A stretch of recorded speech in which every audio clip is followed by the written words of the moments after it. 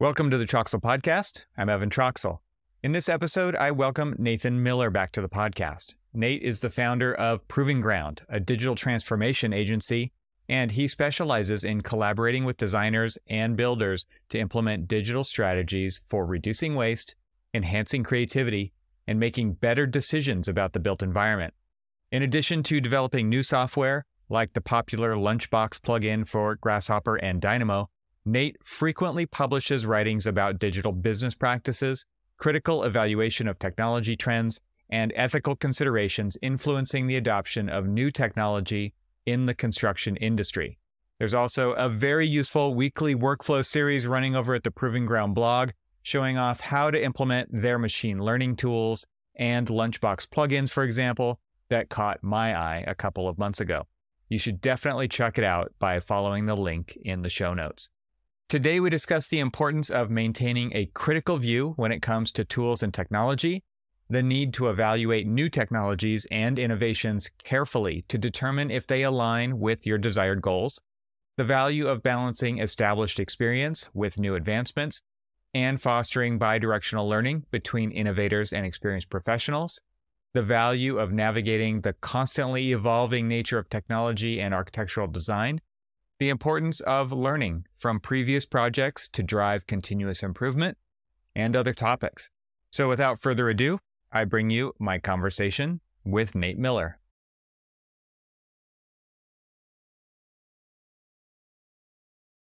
I would love to just talk about Proving Ground. I'd love to talk about kind of how you got because the last time we talked, we didn't talk about that as far as I remember. I mean, it was it's a fuzzy time in history, I think, but um I remember us talking about COVID and just like it was great to have a conversation. And so, yeah, like wherever it goes is wherever it goes. I don't, I don't actually like to set an agenda up front, but I would like to sure.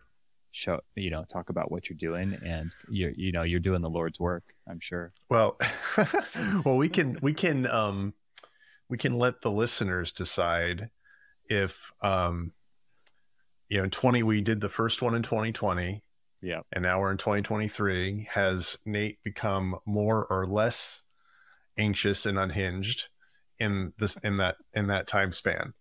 Um, because it doesn't really seem like crisis, the crisis of, of world events has really ever gone away. No, you know, you know, it's just sort of been like, just you know, there's just version. been more. Yeah. There's just, yeah, different versions, more of them. And so yeah. your listeners can be like, whoa, we thought you know he was on the edge in 2020 and now he's really he's really taken the plunge um i, I read something nate that was like uh you get like more and more anxious and i know maybe angry maybe like questioning until like age 55 is like the the the culmination of all that. And then and then it just gets better. And it's like it's some something happens you know i'm sure that's just like some number that well, is an like, average but well it's like reaching the top of a roller coaster. You're you're like you're at the top you're like okay i'm just gonna yeah i'm i'm 55 now i'm just gonna coast. I'm just i'm on my way down. This is all someone else's problem. To hell with it. Yeah. Yeah. You that's right. That's right. Well that's it's yeah i'm getting there. I i think this is all this is this is good to have a have a combo. I I turned 40 this year.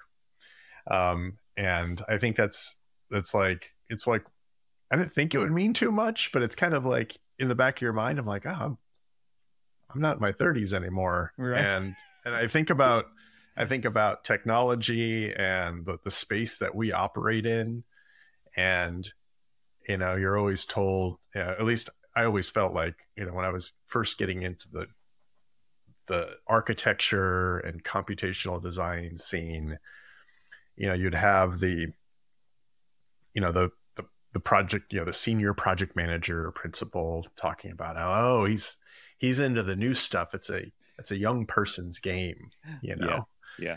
and now i'm like the i'm now i'm kind of get to be that that older guy I mean, like yeah. you know you, and you're still and, an emerging professional. You're still a you're still a youngster in in the architectural profession you have to like you have to have some serious gray hair to be considered senior anything. You know? Well, um, between you and me, I don't think I'll ever have gray hair. just between as, us. As, as you can as, as, you can tell as you can tell from my haircut, I don't know. It could be gray right now. I, I wouldn't know. Yeah. I, oh, I, wouldn't it, know. It's like I grow my beard out. I don't actually. My wife won't allow it. But it, when I when it pokes out, it's like whoa, there. It's just white, man. Like what happened? That's right. what happened? Where'd that come from? oh my god. Yeah it's it's uh it's eye opening at at that point.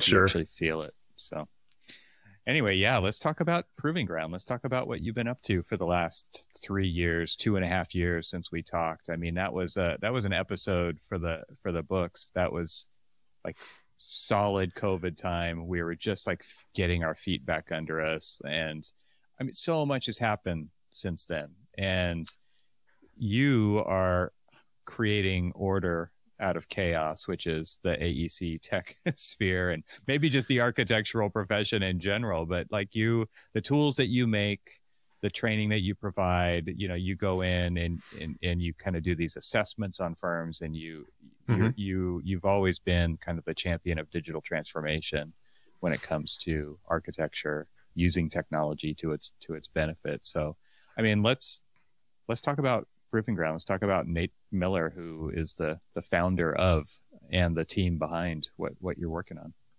Sure. Yeah. You know, it's Proving Ground turned eight years old wow. as a company um, this year, um, and and before that, you know, if you, if I really rewind the clock, Proving Ground was a blog, um, right? And That's even right. to like even to this day, you know, there's that blog element to it. And, you know, if I think if I if I really think back to what what really motivated, I guess that initial genesis was, you know, maybe a idea of a a question on what can technology really do to benefit the building design originally the building design process because I was a designer at the time and right. you know as as we all know when you're a designer that's all you can think about is design mm-hmm. um, and uh, and it becomes kind of your whole world. Right. But I think we've kind of broadened the scope of quite a bit in more recent years as we've been thinking about construction and, and operations. Uh, but it, it really did start as a as a way to sort of and this is I guess the the name of of the company and and previously the blog you know to prove that this stuff this new stuff technology and computation and you know uh, tech uh, being the umbrella term can actually transform how we work to uh, toward you know to a better kind of state mm-hmm. um, whether it's better design um, a better construction process or a better uh, life cycle management of of the the, our, the building. Um, and when when I first was like getting into this space, you know, the blog really was more of a journal than anything else. You know, you kind of have a set of of of interest areas like, oh, what if you had a grasshopper definition help you plan your building and like what would that look like you know and and the you know, you could actually probably go back to some of those early posts where it's like, oh yeah, you could probably do something with um, novel uses of tessellation and, and figure out relationships between kind of auto generated geometry and mm-hmm. you know mm-hmm. think about planning that way or you're using something like you know one of the one of the og grasshopper plugins kangaroo maybe can we actually use a physics engine to help us solve you know how spaces might come together mm-hmm. in in some way, right?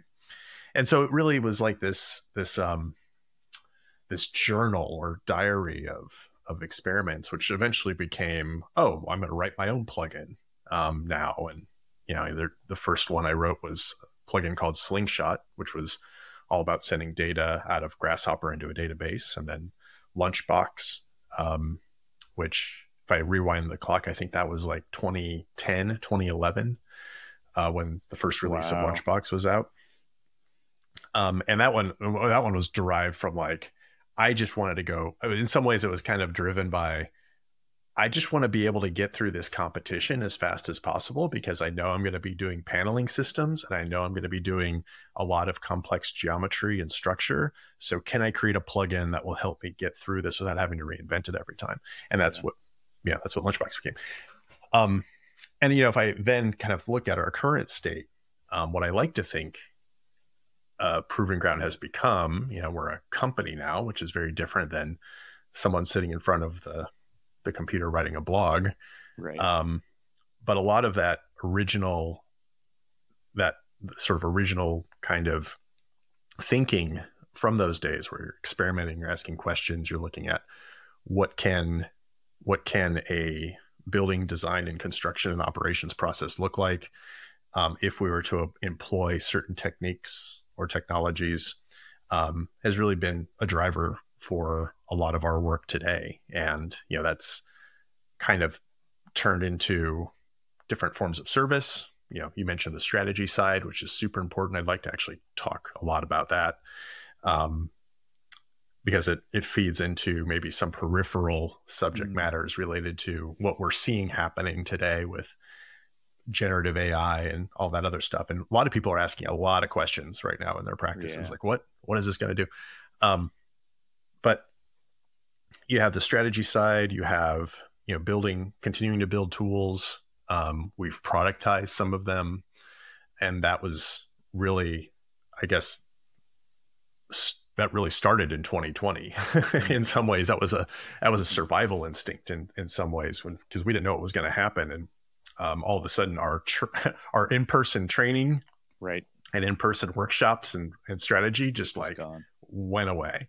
Right. And so we needed to think about okay, how can Proving Ground start to put itself out there in new and different ways, and that led to a segment of our stuff becoming more product productized, and then different kinds of service, which allowed us to mm-hmm. to do what we do um, in a capacity that didn't require us to be in the room physically, right? Right there's a lot there. I mean, I, I even think back to what you were where you started with this online journal, basically. And I, I my question is like, how did you decide to make that a public journal versus a private journal? Because I think there's a, we see it all the time through it, you're you're in a position where you're looking at firms and you're seeing the duplication of effort in every one of these firms. And I think one of the big reasons of the duplication of effort is people are not publicly dreaming about this stuff. They're not publicly hmm. talking about this stuff. And so therefore they're in their own silo. Maybe they're looking at what other people are doing, but because the majority don't publicly put out there what they're working on in the sense that you did with proving ground in the blog, I think that's just a very different approach. Why did you decide to go that route instead of keeping it to yourself? You know, that's a really good question. Um, I I don't know if I know the exact answer to that. I I, I first started the blog right as I graduated from school. Um, and at the time, it wasn't even called Proving Ground. It was just like I, I heard of people starting, you know, blogs. I had mm-hmm. done like, I this is taking me way back, but pre pre Facebook days, you know, it was all, yeah, right. I was like, what was it called? Live Journal. Yeah. Um, I was doing that uh, when I was in college, uh, early, early days of college. And um, you know, the Facebook became really popular when I was in college. And so in some ways I feel like that maybe just instilled a bit of like, okay, um, in order for, you know, if I think about where the world was going and how street cred um, and career and things like that may be taking us, you know, where that might be going, it's going to be online.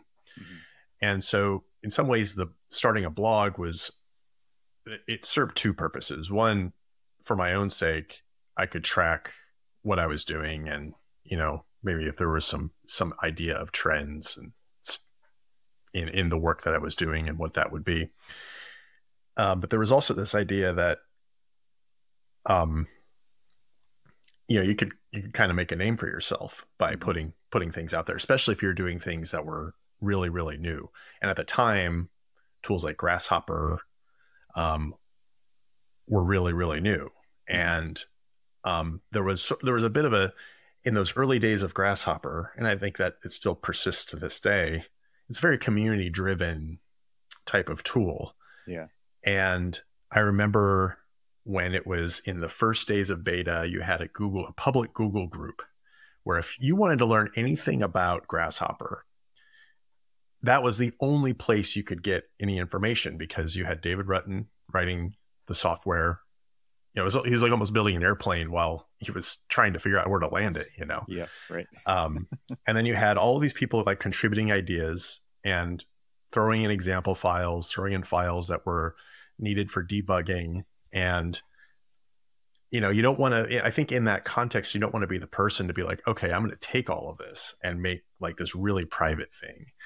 Um, you want to like absorb that information and put something else out there so you can maybe help shift and shape that community in some ways. Mm-hmm. And I think that that was really a big driver um, for for that. I think the idea of community, the community driven mm-hmm. development of the tools that I were I was using in combination with um, just a general cultural ethos around putting yourself out there in mm-hmm. in the you know right right as social media was becoming super super um, popular. Um, you know gave gave me that that kind of platform with proving ground. Um, it's also where where it seems like the you you found your tribe right? I mean that that that's the idea of an online community but but you there's so many other people kind of in your cohort that i would assume kind of came out of you finding those people in that location online? Sure. I mean i think i think so. I mean there's there's the you know that it if i think if i think back to you could almost get really specific here with with the grasshopper stuff but the original like kind of plug-in cohort mm-hmm. that we're putting out tools that i think to this day are among the most popular. You have we mentioned Kangaroo earlier by Daniel Piker. Mm-hmm. Um, you had uh, Firefly, uh, authored by people like Andy Payne. You have, um, you know, there there are some that I, I don't know if they've quite continued on. You know, eh, I think about you know stuff like late the I think more recently like the Ladybug tools that kind of you know it's forward a few a few more years, but you know it's now one of those kind of staples yeah. of of the uh, the workflow. And then I'd like to you know put Lunchbox in there too. You know, it's just yeah. it's become those Absolutely. things like when people get Grasshopper and people get Rhino, they get those plugins I just mentioned in parallel with it, right? Um, because that's what you know, in some ways, gives it its um, its juice um, yeah. more more than what's available out of the box, right? Especially for architecture, right? I think that yeah, there's there's some key words when it comes to Grasshopper that are the plugin names that you're mentioning, right? There's others out there as well, like Human UI, or I mean, there's there's a bunch of examples, but Human UI, yeah, yeah. I mean, it, it's it's one of those things where in architecture circles, there's kind of the usual suspects of of Grasshopper plugins, like you talk about, and I mean, I don't know if they go beyond that. You would know better than I would. Um, being the author of it, but but architecture specifically kind of relies heavily, especially I would assume in in school, like in and really like form finding, design exploration, where everybody's a designer. Those are going to be kind of the the plugins that get passed around more than more than others. Yeah, no doubt. I mean, like it. I think one of the things that has been very surprising.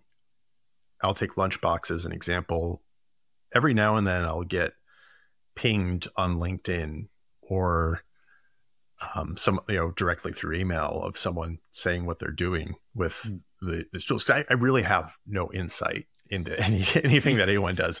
Um, you're not creepy like that. You're you're like I yeah. want to see exactly which ones they're clicking on and how they're using them. Yeah, it's all phoning home. Yeah, that doesn't happen. yeah, yeah, and and so and so for for context, I'm like I'm pretty against a lot of that. So um, even even with our product stuff, um, if anyone is interested in knowing that side of the philosophy, we don't track anything, um, and and so the only way I know if someone's doing something cool with it is that they you know say, "Hey, Nate, look what I made." But the original point, um, I've I've had people that are designing automobiles showing me something they did with Lunchbox. Cool. And I was like, "You're using Lunchbox, pa- like the paneling stuff, to do a cool pattern on like a Ford? Like what? Or That's you know cool. some other?" Uh, and then and then uh, I I saw one pop up on Instagram. I got this was a couple of years back when we first released some of the ML tools for Lunchbox, and someone had cobbled together like a self-driving like a virtualized self-driving car basically a car that figured out its way through a racetrack using some of the ml tools i was like what What a moment. That's so cool. That's so cool. and you know and it was i don't even know if it was like was it a student it may have been a student it may have been Yeah. some researcher but i was like yeah you couldn't i'm like i had no idea you could do that with the the tools that i made and that's actually one of the more gratifying aspects I of a lot of it is like if you put something out there you made it for a particular purpose for yourself but then when it becomes something that you never intended or became or becomes something that it's another author clearly put their stamp on it i think it becomes way more interesting um, because of that.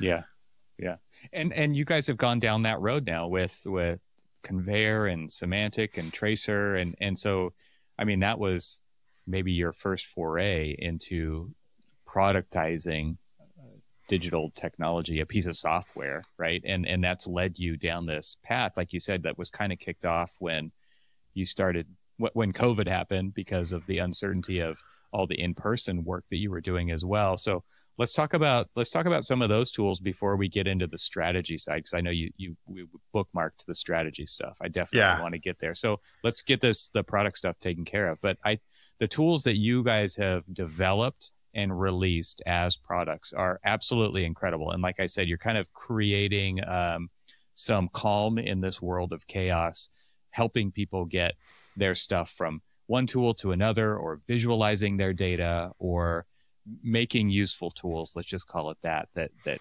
handle a bunch of different scenarios. But maybe you can go through some of those. Sure. Yeah. So, um, the the tools that we're talking about here, um, and we can go through each one uh, very briefly. The conveyor, semantic, and tracer are the three um, tools that we have available on PG apps, our proving ground apps, and those were all born out of services initially. Um, Mhm. They were tools, or the bones of them were tools that were used to solve a real world problem that we as um, consultants were encountering.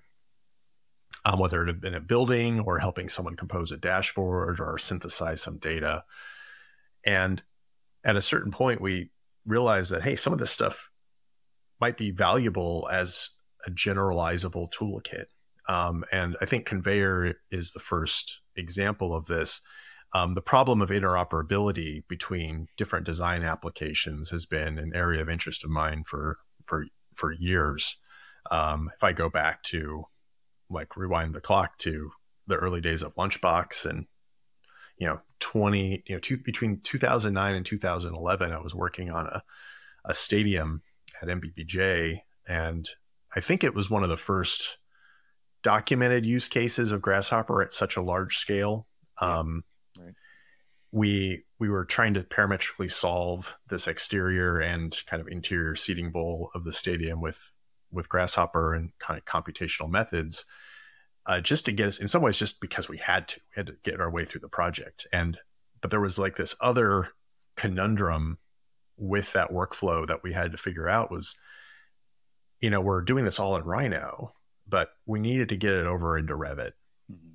because that's that's what our firm was using. That's what NBBJ was using and continues to use, and many other firms are using it. But we had no like path to to get there. There was basically some at that time we were like looking at novel ways of using SAT, like automating SAT exports and, and imports in just to get the documentation set, get some drawings out, and that kind of woke me up to the fact that all of the systems that we use in this industry are not very well integrated with each other. And if we think about the time waste that occurs during a design process, there's a good chunk of that is in figuring out how you can move information um, and data between these these platforms that we need to use. Um, and I have a very, I guess, shop mindedness to me. You know, if I if I think about a, a shop, I have different tools for different purposes, and I'm going to grab the tool that's best for the job. I'm mm-hmm. not going to try to screw something in with a hammer. I'm not going to try to like saw something off with um, you know, pair of tin snips. You know, you you want to pick the right thing, and so I always wondered, like, why can't we have that kind of mentality with our tools? And the mm-hmm. thing that prevents a lot of that is like, okay, well, if I use Rhino over here for this purpose, somehow that needs to jump over into Revit to do something else, and maybe it needs to go over to an analysis software to do something else. And so, um, shortly after I left NBBJ and joined Case, um, which was the company I was with, um, consulting group out of out of New York City. Um, in case any uh, are familiar, it was acquired by WeWork, which is why Proving Ground as a company now exists. Long, uh, long, long path there, mm-hmm. but we were interested in you know a kind of similar set of of things. We started to look at different integrations um, between these softwares. I was building up different solutions. One was called Rhynamo, which was a Dynamo Rhino That's reader right. at the time. yeah. Um, and then as Proving Ground got started, we got put onto a couple of projects. One was the Lucas Museum of Narrative Art, currently under construction, and it looks phenomenal. Um, it's taking a long time, but it looks phenomenal. Hats off to that team for what they've done. And the American Museum of Natural History by uh, Studio Gang uh, was another one that we were involved in.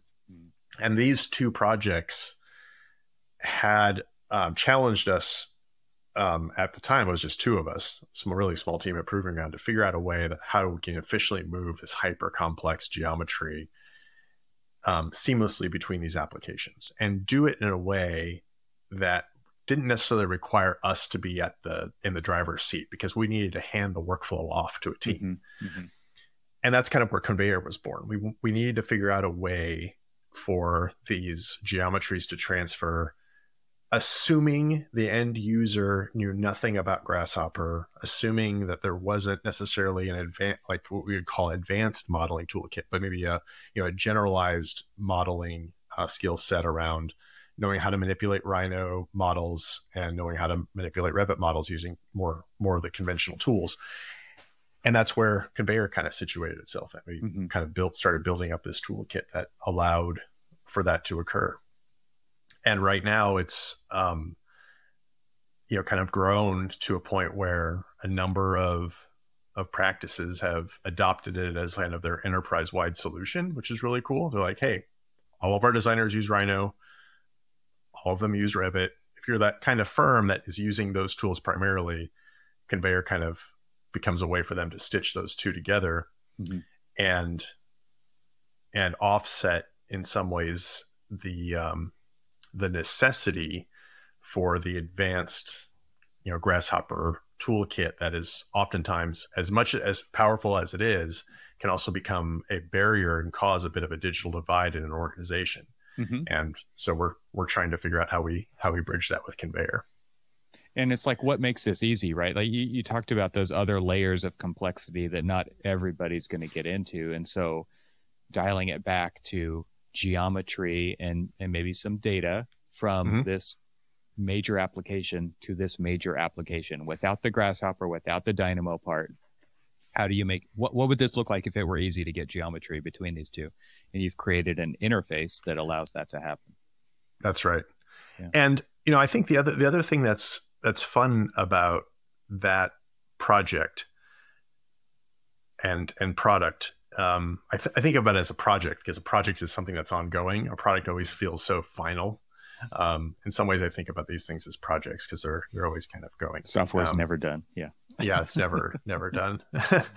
but um, one of the things that became really f- fun, I think, in you know post 2020, getting into 2021, 2022 is that Rhino 7 came out and the McNeel folks had developed Rhino Inside, mm-hmm.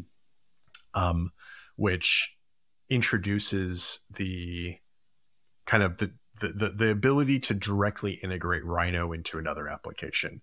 And Rhino inside Revit is like their, you know, in some ways a flagship example of like, mm-hmm. hey, you can now launch Grasshopper within Revit and do with Grasshopper similar things that you might have been doing with Dynamo. Um, oh, and by the way, it starts to solve some of the interoperability challenges between these platforms because they're now kind of directly linked. Well, that became really fun for us because not only did they kind of create the the the connect the ability to launch Rhino and Grasshopper from within Revit, that pipeline becomes something that a third party developer like ourselves could actively use to expand on tools like Conveyor. So out of the box, you download Rhino inside Revit. You can open up Grasshopper and do Grasshopper-y things within Revit. Have a lot of fun with that. Um, but we can also launch Rhino and then use the Conveyor translators that we've made and have a direct back and forth from Rhino without having to touch Grasshopper. We're kind of able to use the pipeline that the generous folks at McNeel have been able to carve out. Yeah. Um, to allow us to use our logic and our um, kind of translation methodologies to make the process even easier. So it's it's like again, it comes back to that community side of things, right? Like McNeel's part of the community, we're part of the community. There's a lot of people part of this network, and their thinking allowed us to expand our thinking. And you know, we've been work, you know, um, sharing ideas back and forth for for a while now, and I think it you know it starts to work both ways, and that that's really really fun when that happens. In the kinds of geometry that you're sending back and forth i mean it's not just boxes right? It's not just right. rectangles. It's it's like the two examples that you cited the lucas museum and the and the studio gang example. I've seen photos of those and like to actually get that kind of geometry built in the real world as a physical object is incredibly difficult. And tools like yeah. these actually make it possible and easier right. at the same time right? Like that's a, that's, that's right. kind of a holy grail of of realizing design intent. Uh, it's absolutely incredible. Yeah. Yeah. Yeah the the uh there's not a single I, you know I, I always like to joke whenever i get when i give a lecture about those two buildings and our digital workflow as that's a part of it. Um yeah there's not a single straight line in either, either of those either of those projects it seems. And um, we had to really we, we published a, a peer reviewed paper through the the Acadia conference about some of the stuff that we were doing with novel mesh translation. Um, and historically, meshes have been like the bane of every Revit modeler or BIM, mod- you know, anyone that's doing BIM, the bane of their existence because it's like mesh. What can we do with it? We need solids. We need really clean solids, which is you know nat- naturally you know gravitated i think a lot of those platforms to being able to you know we think about them as boxy modelers you know you mm-hmm. draw draw these um normal normative buildings um till you're you're blue in the face right mm-hmm. um but meshes are really um, powerful ways of conveying complex shapes um, and they're and you can get very like you know they're, they're the basis of you know entertainment software character modeling the basis of everything when it comes to just displaying geometry on your screen. And so a lot of the the the workflow development that was done for those projects was about how we can actually capture the mesh in such a way that it can be cut um, that it will look good on a sheet be part of the documentation have a level of fidelity to it that um, is is um, you know uh, supportive of the design intent. You know, we don't want it to be too coarse. We don't need it to be too detailed. So we mm-hmm. developed you know ways of you know refining those meshes as part of that whole translation workflow process, and it became such that's you know one of the I think one of the um, more interesting features of Conveyor if we get into the specifics of the different things it translates is how it handles the the mesh component and makes them usable um, and part of part of bim in a way that they i don't think were previously yeah yeah for sure well let's let's get through your other two uh, as well. So, which one do you want to talk about next? Conveyor. Well, I think they, they, those are those two are like companions in, in many ways because they they touch on business intelligence um, and the idea of telling a story with your data. And when we when I was at Case, um, we were doing a lot of work with Tableau at the time because we were you know basically creating reports to help our clients understand their standards better, like what mm-hmm. was in their models, mm-hmm. um, the quality of their of their digital assets. And that kind of experience opened me up to this world of like, oh, what if you could actually use data as a storytelling device, much like yeah. you would use a rendering to tell an architectural story um, or a drawing?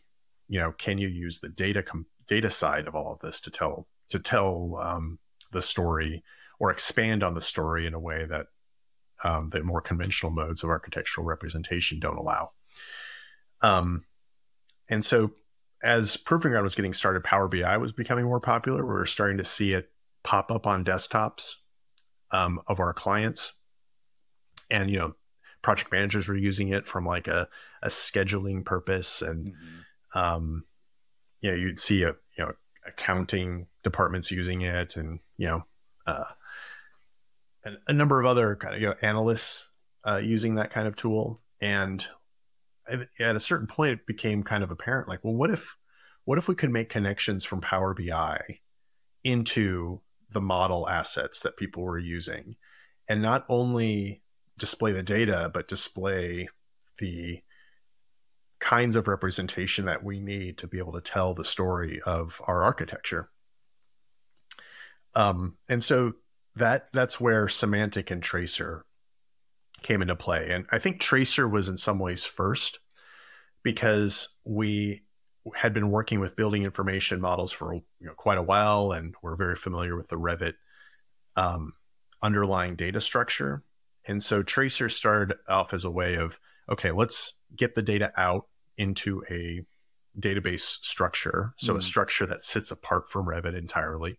Mm-hmm um, such that it can then be hooked in to a place like Power BI and we can run analysis on quantities and um, parameter values and element counts and you know, you know, just basically unpack what's in that model.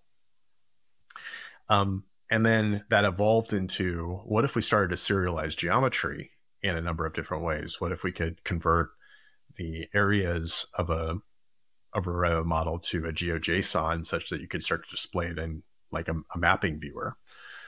Um, and then what if you were able to take the three dimensional geometry of a Revit file and turn it into a uh, a set of meshes that could then be rendered in a 3D viewer? And can we could we even get a 3D viewer in Power BI? Was was another kind of big part of that question. And so, um, Tracer was born out of like, okay, we're gonna we have a data analysis thing. We need to get the data out, and then the viewers became a way for us to then stitch it all back together in Power BI. And with that information, a designer or an architect or a project manager can compose a story with within Power BI that tells them something about their building. And I was just on a phone call earlier this week phone call. No one does phone calls anymore. It was a Zoom call. Um, of course, of course, like, it was. I just I feel like I, I, feel like I'm just constantly like dating myself in this in this combo. Again, we'll leave it up to the viewers to decide if I've become more or less unhinged since 2020. It's okay. We're we're we're recording this episode right now on on VHS. So yeah. Okay. Oh, yeah. that's my comfort area. Right. Hey, perfect. oh, oh, that's a relief. Um, Actually, that would be really funny if you like published like a really grainy VHS yeah. quality of this this recording. We're just Which, one filter away from that. si- si- sidebar, and um, before I get back on topic, I'm going to take myself off topic. Um, I got my son into music um, in this last year, and the way I got him into music is I bought him a uh, it's not an original, but it's something you can you can get you can still get them on Amazon. Um, kind of a knockoff Walkman. Nice. And I found a bunch of cassettes that my parents had that I used to listen to. Oh, cool. And then I went on eBay and found a bunch of stuff that that I used to listen to as well. And so now my son is into music through a growing cassette collection. And this is one I haven't given to him yet. Um, he's nine years old. He's uh, you know, he's into rock and stuff like that. But I also have been giving him the Guardians of the Galaxy. You can you can buy new stuff on cassette. So this is the Guardian Galaxy Volume Three, nice. uh, cassette that I bought off of Amazon, and it's That's awesome. Cool. So have you introduced him to a number two pencil yet, and and the usefulness of that with with? Uh, Oh yeah, he knows cassette he knows how to use it. He knows. How, oh oh, you mean to re, to to to unspool? Yeah, I, I did I did take him through a demo of that because he ended up his his cassette player ended up chewing up uh, Yep, Metallica's "Ride the Lightning." a couple weeks back so i had to like i had to like go this is how you fix it That's awesome. Yeah, it's so cool. I actually, it's funny that you say that because I just saw, and I wanted it so bad. I just saw an iPhone case that was a cassette tape, like an old school Maxell or RCA tape. So, so from the back, your phone actually looks like a cassette tape. that's sweet It's really sweet. Yeah. So how do we get on this we got on the subject because i said phone call and yeah, you were on a phone call earlier this week. i was like yeah i was on i was on a phone i was on phone i was on the telly right. and uh um so they the, comment back or the question to me was like oh well what use cases have you seen with tracer? And i couldn't i couldn't answer the question in a very straightforward way because they were looking to like oh this is primarily used for like space planning you know or like Mhm, showing the mhm. program in 3d or, or showing something else. And i was like well we've seen a lot of them. So there's the planning and programming stuff that architects like to use like space tracking and you know Mhm. showing blocking and stacking of of rooms and then we've seen um an uptick in contractors downloading the tool because what they want to do is they want to take the revit model turn it into a database and then and then attach uh, power bi to like their costing and scheduling database and then create a dashboard that shows like a timeline of construction or shows element installation and and tracking over time.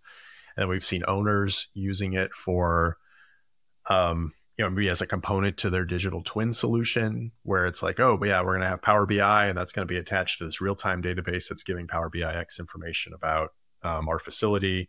Um, and the 3d piece is you know there to to convey the model. And so people are like really scrapping together interesting use cases out of it again in unanticipated ways um, we've had um, and speaking of unanticipated ways you know we've had people that are in like biomedical um, and and chemistry like wanting to show Wow. digital models of you know biology or like dna structures like hey will this help us show like the mesh of this of this structure over here this this chemical structure and com- with the data that we're collecting i'm like sure why not i know nothing about this in fact i became i came very close to failing chemistry when i was in high school um but I'm the yeah last have person I want to ask that. yeah i'm the last person you want to ask about yeah 3d sure but you, right. I don't want to. I don't. I know nothing about what you do. Um, but yeah, so that it it, it the, the versatility of the business intelligence platforms like Power BI um, and others really start. You know, it, it to me it becomes a really interesting design tool in a way. Wherein Yeah. instead of designing your, I, I think I think back to when I was in school. You, or even when I was doing a lot of competition work and in designing your design your board, you know, and you have your rendering and you have maybe some you know the diagram, Right. you know, and you know Power BI is like, well, what if you gave it gave an owner or gave your client a dashboard that lets them explore that in a way and and do so in a way that you've curated and you've you know you've published as a designer that and be fully interactive. I think I rem- I'm remembering a, one of your AU classes that I attended years and years ago, where you were basically showing this at its initial state. I think, and because you had like the Revit, uh, you know, example project in Yeah. Power BI. I don't think it was 3D yet. I think it was just 2D Right. at that point. And you were just typing in a query, and it was I isolating information and showing yeah. you like how many classrooms are in this building. It was like you could ask it a question in regular language and it would kind of parse that and filter that data down and just show you what you were asking. And, and I, I remember just like opening up my eyes to the possibilities here for allowing someone else who is not a designer, who's not working in Revit, who's not working on the project to be able to track progress, answer questions with a client, make sure that you're on track with the program, like all the pieces are there, that the sizes are right. It was, and it was just, it, it was amazing to see using a, a completely different tool to kind of look through that into the model but but something that anybody could access and i think that's what really was was eye opening to me about it back then yeah, i think i think there's something like and this in some ways feeds into our you know, we can maybe lightly touch on the strategy stuff here because there is a underlying philosophy mm-hmm. in play when it comes to that that ad, I guess you could call it an attitude or a, an approach. Um, if you can give someone give a non-expert um, information or data that once previously required an expert, but you're giving it to them in a way that they can then uh, digest and understand. You've you've all of a sudden set up um, what, in my view, would be like the foundational part of a digital transformation. Di- digital tools and technology are not transformational if they are relegated to a select few, in my view. They need to be something that allow, it allows us to have them opened up to a cross section of, mm. of stakeholders, uh, of people, um, such that they can participate. And when I think about the, you know, the, you know, uh, Power BI um, and the stuff that we're you know doing with semantic and tracer it's really about that. It's about people like people to compose a model uh, th- uh, whether it's a rhino model or a revit model that requires expertise. That requires someone to go into to the to the 3d world um, and construct their their model. Mm-hmm. um, but then if you have publishing tools stuff that allows you to take that information and put it in a way that with a nominal amount of knowledge of how you might rotate a 3D view or click on a bar graph and see the see the impact of that selection on a model, um, you've all of a sudden made a, a an opaque process far more transparent and allows for more people to participate than were participating previously. And then you've created the you know some some level of foundation for a transformational conversation. Um, yeah, I, I would I would say like to to be really specific about it is you're letting them drive and and that is that's a big deal because you you could do everything that you just said by watching over someone's shoulder sure. who is the expert driver but to actually give them the the steering wheel is mm-hmm. a completely different game because it's actually starting to create a relationship between the person and the data not not even the tool necessarily but but like what what are the answers that they're trying to get.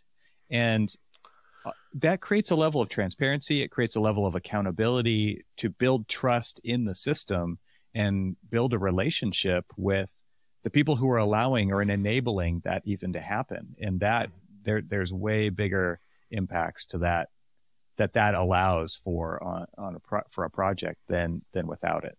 And that's where mm. that transformation can actually gain a foothold because yeah. if it's if it's just tools and there's no trust and there's no relationship, then it's just tools. Like it, it doesn't it doesn't actually make a difference. Yeah. Well, and I think um, there's there's another aspect to it that I think is also really important is that it somehow there needs to be a bit of a fun side to it. Um, Agreed. Like we've seen many dashboards, you know, reports and things like that, that just by the, you know, the that contain a lot of really good information, but just by nature of them being boring as hell, no one wants to look at them right or ga- gain any insight. And and so when I think about this idea of composing and publishing mm-hmm. and the, uh, the the element of creativity that can go into it. It's in some ways like designing a game. You want the game to be fun.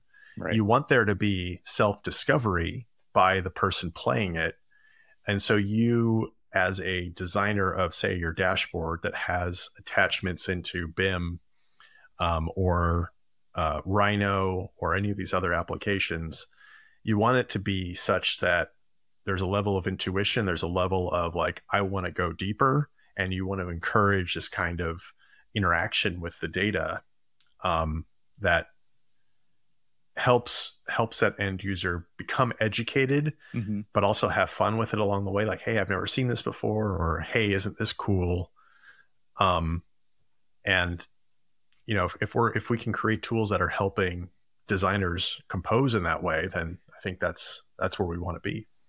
Yeah, I, I love that idea too because like you you you use the analogy of like laying out your boards when you were in school, right? And yeah. and you're placing views on sheets, probably in InDesign or back in my day it was QuarkXPress, right? And it yeah, was, right. it was like that you you draw a frame and then you decide what you're going to put in that frame. It could be text, it could be an image. Now it's a fully interactive 3D model that if you click on this frame over here, it's going to isolate that information and it's going to update in these other views to reflect kind of the thing that you're drilling down into. But it creates that it's another level, right? Because of the interactivity than than just the 2D boards on the wall were. And it encourages exploration and it encourages yeah. someone to scratch an itch and find out something that isn't just apparent on the surface. It is deeper. And that is what's so interesting, I think, about architecture in general is real architecture does that as well in a spatial way. Maybe it does it with light. Maybe it does it with color. Maybe it does it with texture. Maybe it does it with the size and proportion of the room. But we're talking about using this to get us there and, and this right. building this relationship along the way using tools like this that enable that to happen is a fantastic way to deliver that project and include people in the process along the way. Right. Right. Yeah, super cool. Um, there's also, you know, there's an element here where there's there's also a I think a component to what we do that also operates. You know, we we try to do new things, um, but we also build on what's there. Um, in in many ways, mm-hmm. you know, we're not Proving Ground isn't a company that we're not designing our own ground up platform. You know, which I think requires a, a, a very different kind of business model, mm-hmm. right? You know, we, we have amazing kind of platforms being built by the ground up by the folks at like Hypar um, and, and, and others out there, right? Um, we we are you know building tools that naturally extend things that people are already familiar with to a degree.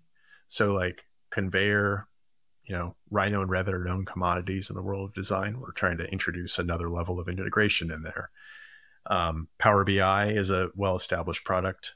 Um, and the idea of creating, you know, web viewable, um, you know, 3D reports is also somewhat familiar, but we're, we're trying to layer in this idea of ease, of accessibility, and you know the idea of like a no code type of environment mm-hmm, mm-hmm it's also been advantageous because it allows us to tap into existing infrastructure. If we're able to sort of say like, "Hey, our tools work with your stuff," um, because that's what they're designed to do.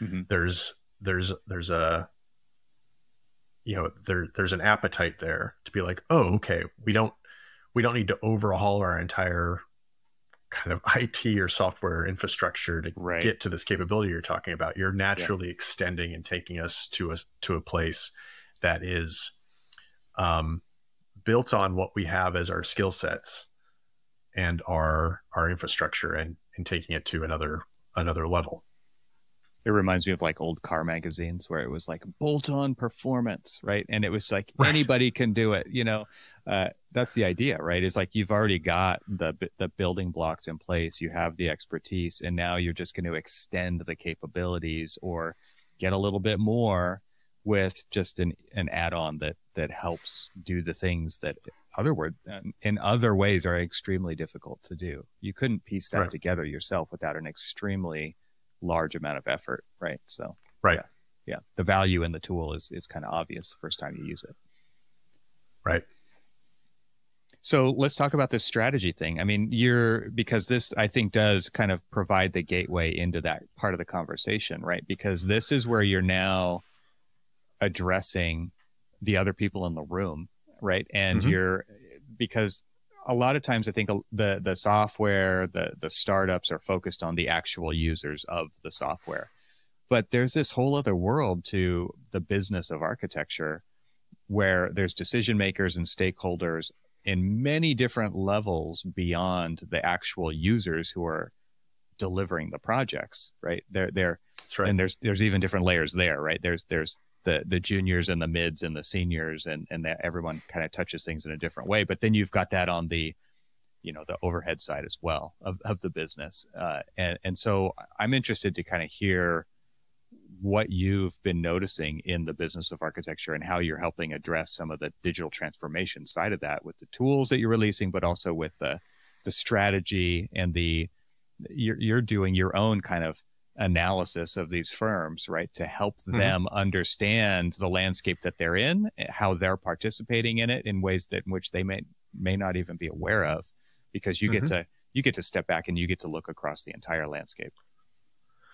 Yeah. So, uh, strategy, the strategic work that we do um, was really among, I, I, think, some of the earliest consulting uh, pro- uh, projects that we've been a part of. It it's sort of been the way that we're able to connect and create, I think, meaningful collaborations from. Mm. Um, and you used the term earlier, the idea of trust, because mm. trust is really the the currency that a, I think a good strategy relies on in order mm. to make it actionable. There needs to be trust between, you know, I would say would call us maybe coaches, coaches and right. people that we're helping to coach. And there also needs to be trust among the stakeholders within a business to um, realize the potential of the things that they're interested in realizing. Um, and so the, the strategy work that we do is, yeah, I, I call it the 30, you know, it's like the 30,000 foot um, view of, of an organization and what the impact of digital can or is, can, and should be within that within that company. And I think there's there's a misconception usually right off the bat that we're going to come in and we're going to tell them which tools to use, and then that's going to solve it, um, or that we're going to come in with a uh, a new set of technologies that they've never heard of before, and that's going to be something that they're going to implement as the next stage. What what more often is the case is that an architectural business or a construction business or an owner operator business they, ha- they they might have a lot of the tools and the technology in place to some degree. And it's right there. I mean it's like right on their desktop in some way. Mm-hmm. but what they're missing is the attention to process um, and the attention to people and their skills in order to to, to motivate the organization to really see the benefit. Um, as part of, you know, it's, it's part of a lot of my introductory talks that I give on the subject of strategy. Um, it deals with two components to a successful strategy. There's this idea of the smart component, like, and we all we we've heard the term smart business you know work smarter not harder mm-hmm. um, and those types of things right that, that, that refers to like okay you have the technology you have the tools you might have different tactics that you're employing those tools with um, but then there's and the, you know, maybe knowledge management's a part of that kind of yeah, the smart absolutely. side right? right? content management it's like the nuts and bolts that go into making a, a smarter organization but then you also have the health side. So smart and healthy. Healthy is this, the part that is far more challenging to address in a strategic way and actually requires way more effort and attention from people that are non-technologists sure. which is why i really like this because yeah. what you have to do within a what in my view a healthy organization is an organization that has levels of accountability for certain initiatives that are taking place. There is maybe even a sense of of equity um, within an organization, i.e., equity, both in terms of how how you're thinking about how a certain cap- capability can spread equitably across uh, staff, but also people that might be contributing to that are they getting an upside from it mm-hmm. um, in, a, in a meaningful way in their work and their paycheck you know something like that. There might there's also uh, communication um, something far overlooked like hey you have a new thing. How is it being like talked about in your right. company? Right. And and then there's the the big b which is behavior as part of the the healthy side. Is your team s- set up in such a way where they are being motivated to change the way they do things and that one right there is probably the you could call it the biggest speed bump or barrier uh, in any organization when it comes to digital transformation um, and i'm sure you've heard it in many of the places that you've worked why are you doing something a certain way? The answer is usually, well, that's just the way I've always done it. Yeah. And there's very little right. motivation to push an individual to sort of be like, well, maybe I should look at it a different way or change the way I'm I'm working. Um, and so this is why you have to engage those leaders as well, because that right. th- that mentality comes out of. Uh, I mean, I don't have time to look at another way to do it. I don't know that there's a better way to do it. And the project has been built around slicing up time in the way that we've always done things. And so, right. therefore, you give me that amount of time to do the thing, I will take that amount of time to do the thing. That's right. It's a it's it's like it's like a it's a B the the B is for behavior, the B is also for bias, right? Mm-hmm. It's like they have through through their professional upbringing, through through our the habits that we build, the rules of thumb that we cultivate. Mm-hmm. These are great things in many respects because it allows us to work. You know, we we are gaining experience. We are developing rules of thumb. We are figuring out faster ways to shortcut problems that we always encounter. These are necessities for us to be successful. But if we're not careful, those um, habits and those rules of thumb can also put the blinders on our Absolutely. ability to see other possibilities. Yeah. And that's kind of what I like to think about our strategy is like, can we, can we come into the room and help take some of those blinders off and help motivate an organization at different levels, whether it's the designer doing the project or it's the project manager that's trying to figure out how to staff a project appropriately or it's the executive trying to make a high level um, decision on where to invest in training in um, you know, in a new capability mm-hmm. or how they might be developing a relationship with a with a prospective client can we help them look past maybe some of what they know and get into an area where they might be uncomfortable at first but recognize that hey this this new capability can take us where we want to go um, and if we can get that kind of attitude in place um, then the roadmap and a roadmap is usually like the what I refer to as a roadmap is usually the artifact that comes out of every strategy engagement, kind of sets a near, mid, and long term set of goals. That roadmap becomes very much easier to execute because you can see where you're going and you have this level of buy in at these different levels that help people um, know where they're going and know how they are participants in that in that ride together so many times someone like you, Nate, will come into a business and do the thing that you just talked about. You'll create this report, you'll create the roadmap, and then you're out. And then right. they're left to their own devices. And and there maybe are, there maybe aren't some directly responsible individuals for each key element on there.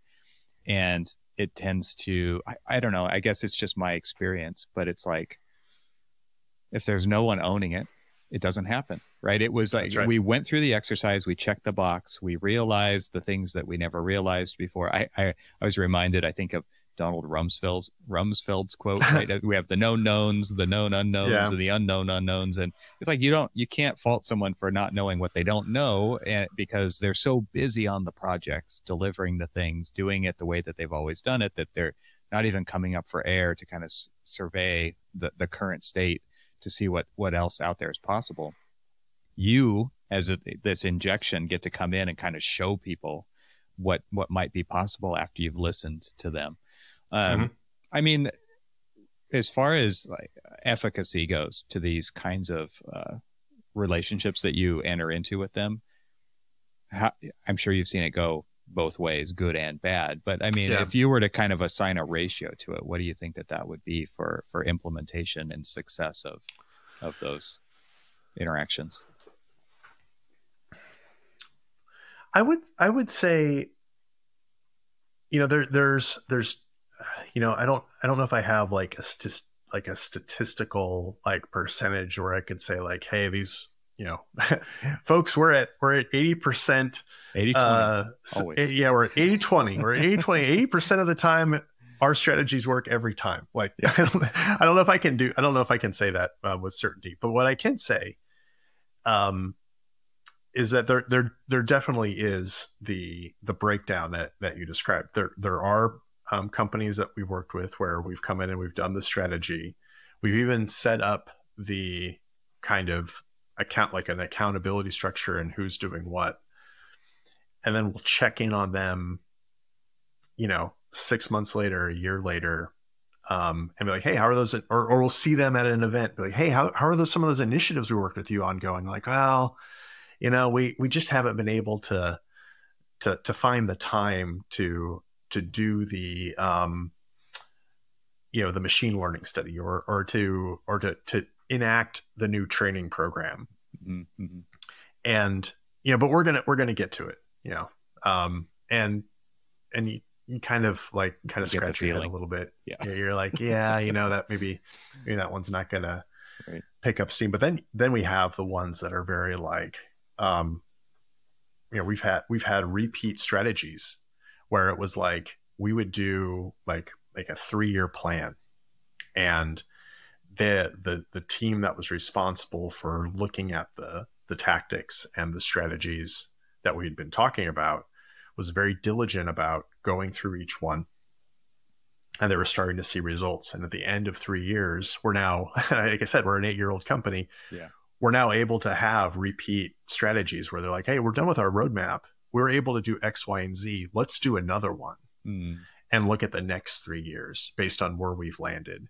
And they will come to us with a level of confidence that the things that they had done were working out and that the insight we were able to provide was also going to help them elevate them to the next level. And that that becomes a very strong relationship and a high trust relationship and those are those are two like examples where it's sort of like we do the thing and then we like you said might go away for a while or we're not like actively involved in the tactics you're not, you're not actually We've, delivering it it's up to them right. to deliver it on on it yeah but we've also been a part of a number of of strategies that are like yeah we'll do we'll work on the tactics together and oh by the way like these five over here are things that we can directly help you with. Mm-hmm. Um, implementing a centralized uh, data warehouse, for example, or setting up, setting yourself, setting them up with uh, training around interoperability.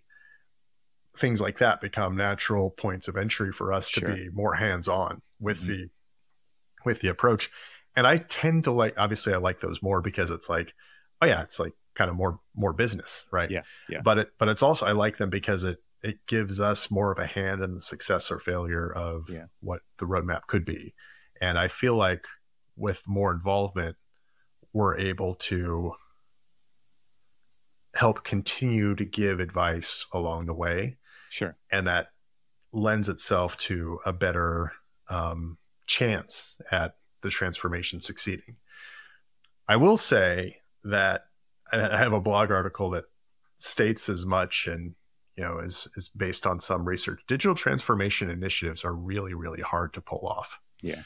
Um, I think there's a there's a statistic out there that they did a survey of like big companies that were initiating digital transformation initiatives they have like an 82% failure rate, which is like there's a number a really high. There's a number. It's really high. I mean, wow. because what, what happens is, um, and it all comes back to that B word behavior. Mm-hmm.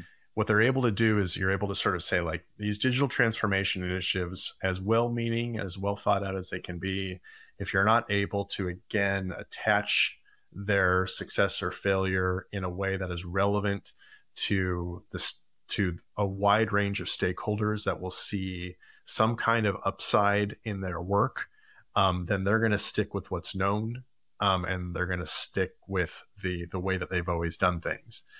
And you know, and that I think is, is especially true in larger organizations where there's yeah. just a lot of complexity, a lot yeah. of bureaucracy, mm-hmm. a lot of different opinions, um, and you know, it's easy. I think if if if um, you're an employee in a large company and the kind of upper echelon of leadership comes down like hey we're releasing a new strategy it doesn't matter what it is it could be related to um, you know the, the food service as much as it is the technology that they're using. Sure. Um, but if if it's one of those things where hey this is coming on down and my project manager isn't really talking to me about it and my um you know my principal is just sort of like okay whatever we're going to ride this out for for 3 years and then we'll have a new strategy you yeah. know there's sort of this element of like yeah we'll wait and see yeah. um as opposed to uh you know hey let's get on this you know and that's where you want to get past you want to get past the wait and see stage and to and to show results with these strategies that can can be meaningful to people you mentioned the word upside, and I'm I'm wondering if you have any particular thoughts about. I mean, it is so important for someone to see upside early, is my guess, right? because I don't do what you do, but that makes a lot of sense. And so, do you focus on that a lot on the work that you're doing there? Because, I mean, some you, you said you've got you've got a short term, a midterm, and a long term kind of staging of the plan the short term stuff, I, I would assume, kind of has to show value very quickly so that it even has a chance of continuing to hmm. that mid level point. Just general thoughts on on that kind of thing. Yeah, we call them quick wins, and I'm sure it, it, it's it's a common terminology, common consulting terminology. You mm. might might say that the quick mm-hmm. win. We need a we need a way to um, demonstrate the value of an opportunity right away so that people can latch on and want to see more right yeah um, this is where i think computational design has an advantage in a way because it's not full-blown software development right um, but you can still develop extremely powerful automation technology uh, techniques and technology that will help elevate a process and so what we oftentimes see is like, okay, there are these, okay, we need to get some momentum behind um, our data management, behind uh, planning and programming. What can we do? Oh, well, you know, uh, let's think about what you're using today and let's prototype something really quick in Grasshopper or Dynamo that allows you to circumvent some waste that we know your teams are dealing with right right now. And let's do it in two weeks, you know, and develop something that we can get in their hands and and help them. And because all of a sudden you're taking a high level, I you know, something that might be super high level and the thirty thousand foot strategy view, and you're saying, okay, now we're going to bring this down to a solution rapidly uh, that's going to hit the person doing some level of production. Mm-hmm. And so that all of a sudden can can generate a lot of excitement and also puts a lot of um, interest uh, behind the technology initiatives. Like, oh, I had no idea we could do this. Why why don't we have more computational designers? Where can we get more training? Um, how can I participate in this in this training? How can um, can I sit in on the next uh, strategy meeting so we can talk about what we need because we think this could turn into a new uh, tool for us that has broader reach. And and those quick wins can help you know prompt the questions um, and prompt the dialogue and you know when we when we build software uh, that's that's that's part of our I, I think workflow in general is that if we're building something custom, we want to have um, prototypes, we want to have wireframes, we want to have things that take something from the abstract into something that is actually meaningful and we know can deliver, right?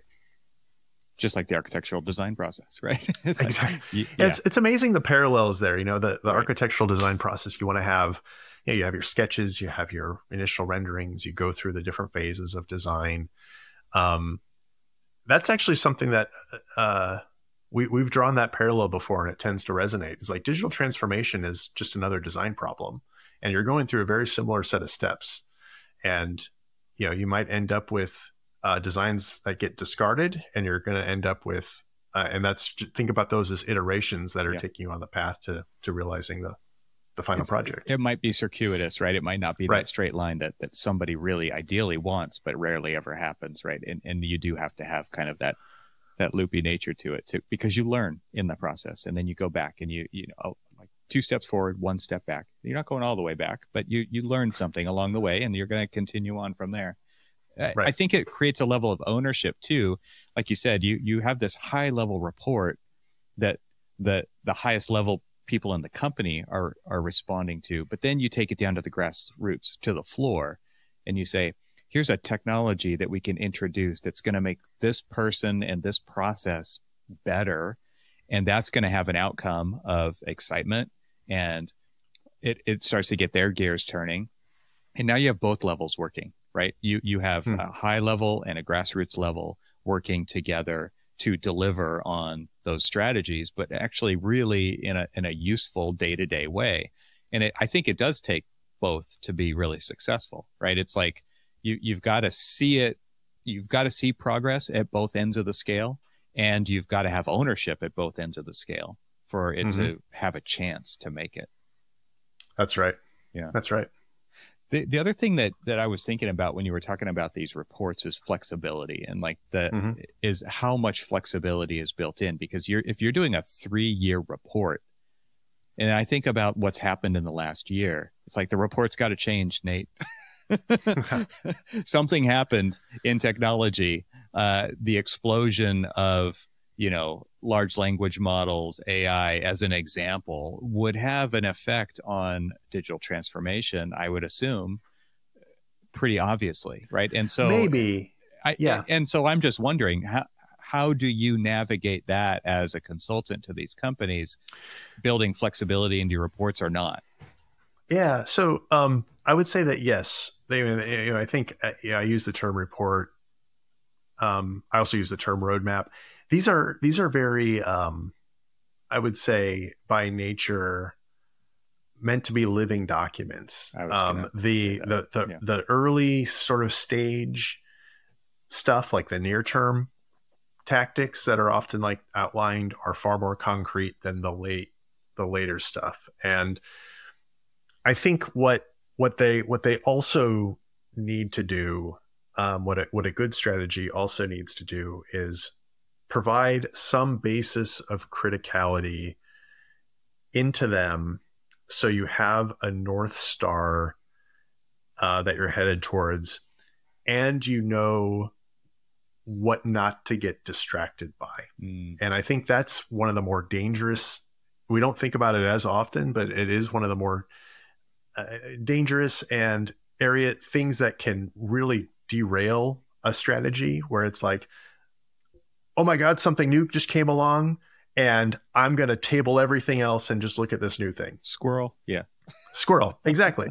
yeah. And with technology, boy, is that easy. It's easy. I can look yeah. at my LinkedIn feed right now yeah. and I'll, I'll, I will show you a feed of dozens of people doing the squirrel thing at this moment.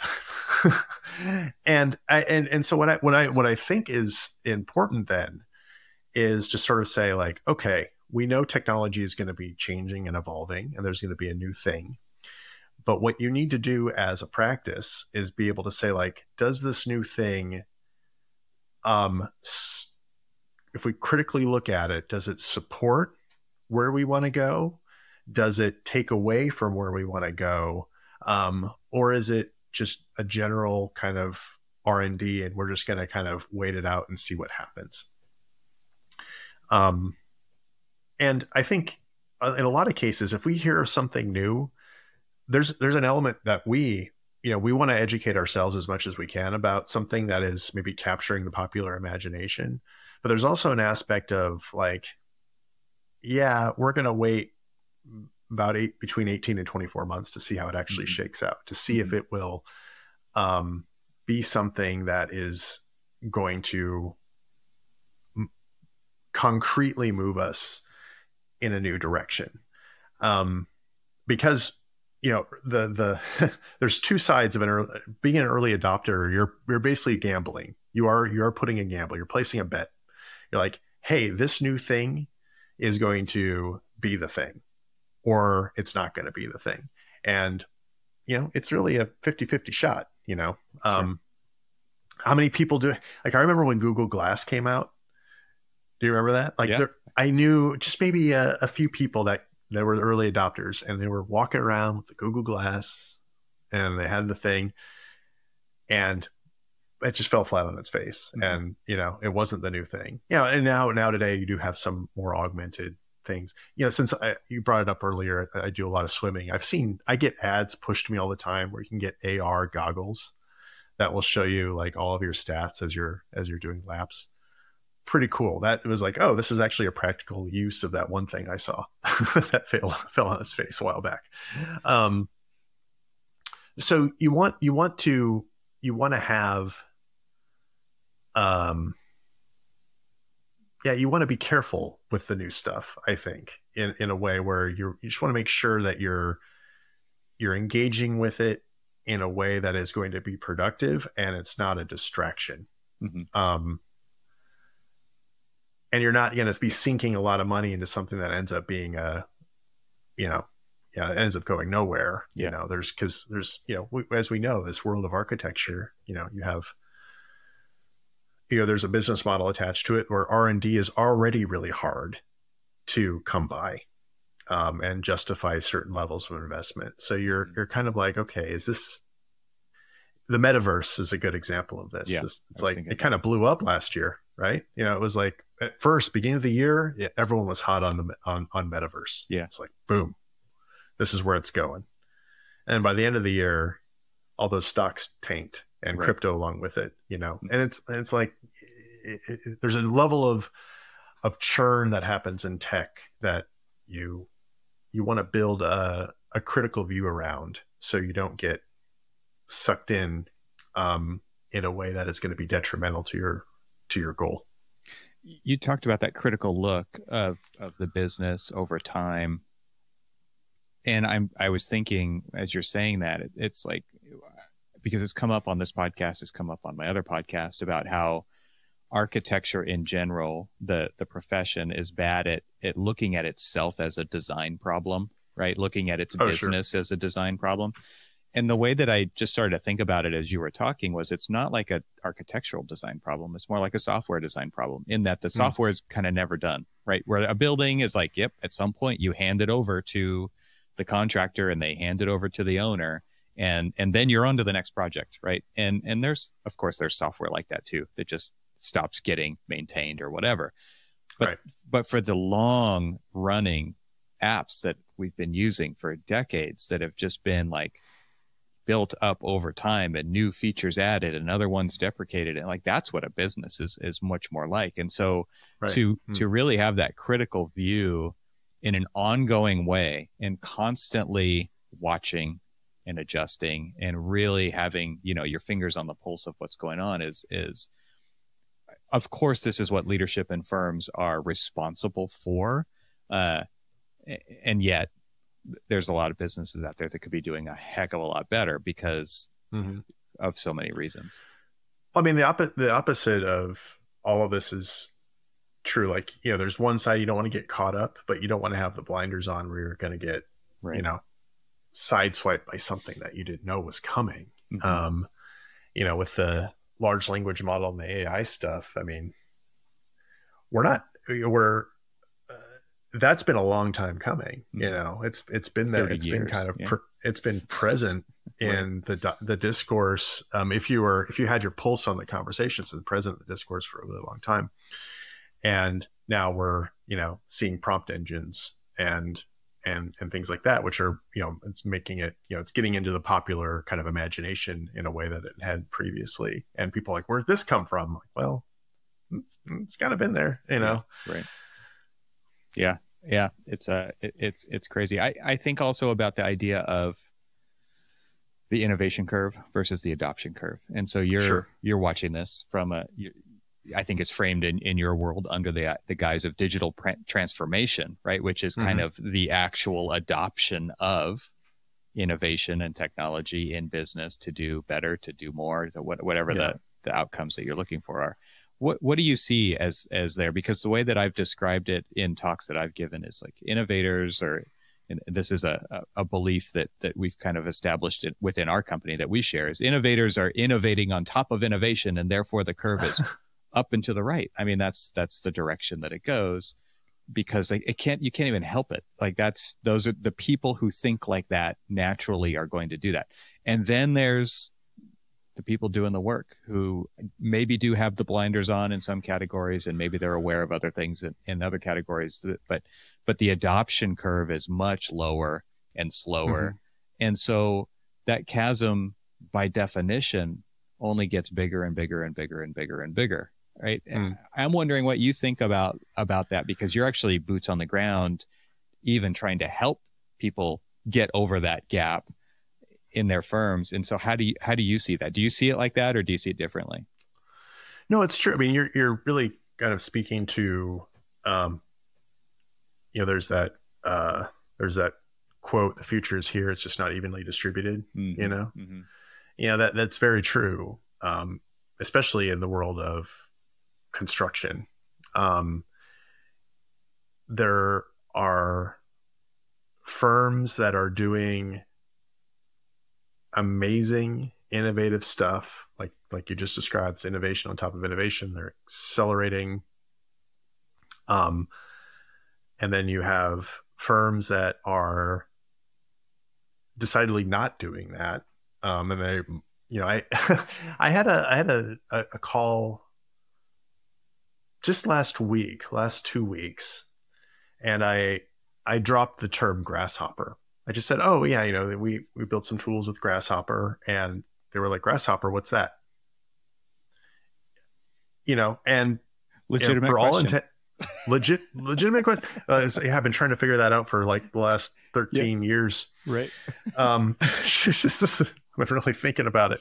Um, but you know, we take for granted how uh, well established some of these products are, and some people just have not have not engaged at all. And for all intents and purposes, the firm that I was talking with at that point in time was profitable and had a good customer base and was moving along just fine. Right. And I think that's that's like that's an important thing that it's always to have important to have those kinds of gut checks is like just because something is innovative um, doesn't necessarily negate or supersede or override the benefit of of doing things in a way that's already established as well. So mm-hmm. like I'm not, you know, I, I think you're right. I think you're you're right that you have you have innovators that are always going to be, you know, moving the curve, moving that curve. Um, up and to the right. But you know, I, I think it, know, this comes back to the air, the kind of point I was, you know, making earlier about being critical about where you're at, where you're going. Um, and, and maybe it's just who I am, um, as well, because when I was at NBBJ, you know, I was, I was the grasshopper guy, you know, and I love building stuff in, in, you know, grasshopper but I tell you, when it came crunch time, there, there was nothing stopping me from being like, you know what? I'm going to get in these CAD plans and we're going to be ripping, ripping through the document. Yeah, we're going to be ripping through these, ripping through the document set. Yeah. You know, like you have to do it and you have to do it to get, get by and you need to kind of rely on, on, you know, those, those experiences too.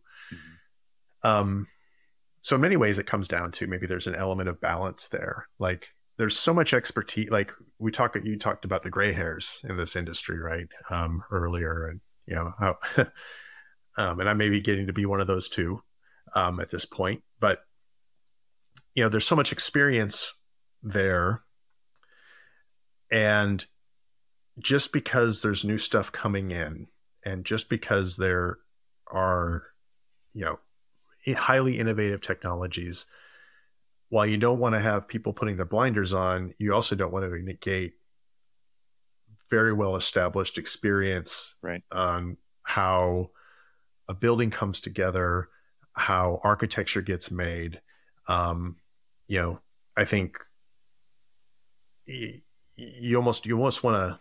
We called it. Um, you know, it was kind of there's like a term that we that was popular there for a while. It's called upward mentoring or reverse mentoring, mm-hmm, mm-hmm. something we often advocated for in, in, in, a lot of strategies. Also, was something that NBBJ was kind of big on is that you would pair up um, your, you know, someone that is doing new things and engaging with new content. Maybe it's Grasshopper, maybe it's rendering, maybe it's um, you know a different form of design. You pair those individuals up with people that are very well established in the field and you would try to set up a mechanism where they can learn from each other yeah. um, and and feed feed feed forward. So it's not a, a pure dichotomy of people that aren't doing it and people that are doing it. It's yeah. more of like what can you share in order to make a product you know to, to generate kind of a productive transformation that operates in both ways. The Venn diagram, yeah, the greens and the grays, right? Yeah, that that spot, that sweet spot in the middle. It, I there was a book written by one of the partners, I believe it was NBBJ, and it was called "Designing the Design Firm," and they did talk oh, about oh, sure. talked about that in there. That that was a fantastic book about leadership in design firms. Yeah, yeah. Um, the, this idea, and maybe maybe we should start to wrap up here, but I I've the whole idea of of that bi-directional i mean talk about interoperability nate. Yeah. Uh, that's what we're that's what we're that's what it, it, all comes down it all comes back to interoperability. Uh bi-directional exchange of data.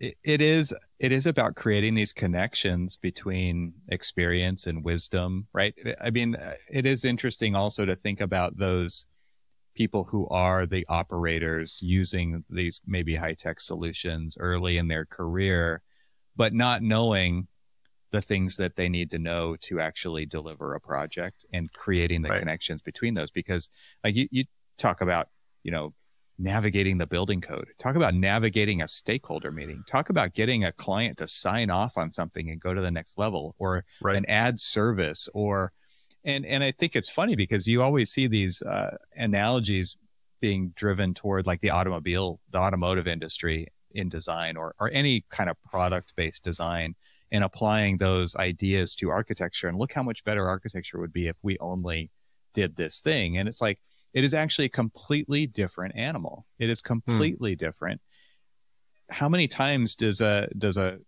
automotive firm engage a customer to ask them their preference when they're designing a car? Like hardly ever is my guess is the answer to that. I, am sure it happens, but but like the architectural design process is completely different than that. Completely hmm. different.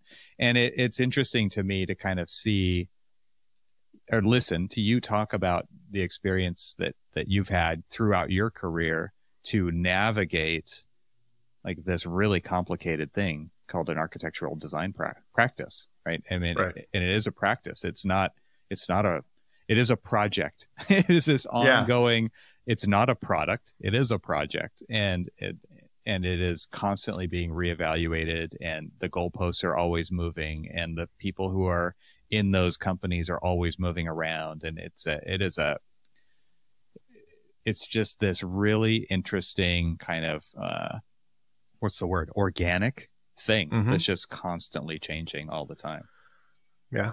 And then, you know, that that and that's at just a singular business level. Right. And it's it's even more true as you get out and think about like the larger team structure that goes behind a project. Mm-hmm. Um, you know, it's it's it's always interesting to me to for me to think about, hey, when a project team finishes a project, the odds of that team coming together again in that exact same way to do a project again that's almost identical is also rare. Yeah. You know, and you have to figure out, okay, how are we adapting to a new context with new collaborators?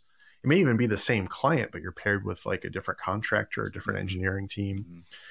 And you need to you need to think you need to figure out tactics that will help you grapple with that and um how how can you take one of the big questions we we often ask our clients in a strategic you know from a strategic perspective is like how do you take what you just finished on one project and mobilize what you've learned to support the next one? And if you're a firm that has figured that out i think you are in a position that is far better than most. Um, I would say you're in the 99th percentile, and you and you, even though even if that firm itself is not a digital firm, you're probably putting yourself by just figuring that one part out, figuring out how you're going to learn from one project to the next and expand and improve.